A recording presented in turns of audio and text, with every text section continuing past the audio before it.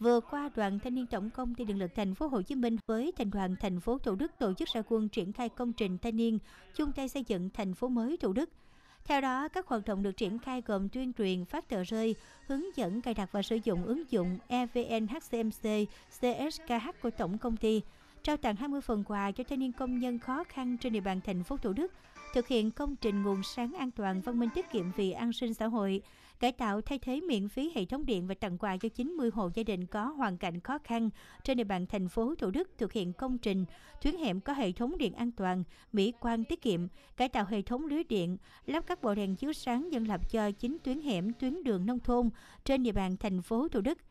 Tổng kinh phí thực hiện các hoạt động này hơn 300 triệu đồng. Đối tượng được chăm lo là mẹ Việt Nam anh hùng, gia đình chính sách hộ nghèo, hộ cận nghèo, có hệ thống điện trong nhà cũ kỹ, chấp phá và lắp đặt không đúng quy cách, có nhu cầu được hỗ trợ sửa chữa thay thế đường dây và các thiết bị điện miễn phí. Các tuyến hẻm có hệ thống lưới điện mất an toàn, mỹ quan và nằm trong các khu vực nguy hiểm có nguy cơ chạm chập điện gây cháy nổ cao.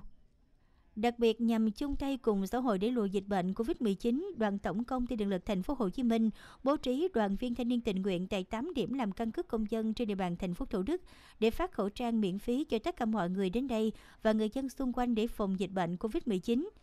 Đây là những hoạt động thiết thực của Đoàn Thanh niên Tổng công ty Điện lực Thành phố Hồ Chí Minh chào mừng ngày bầu cử đại biểu Quốc hội khóa 15 và đại biểu Hội đồng nhân dân các cấp nhiệm kỳ 2021-2026.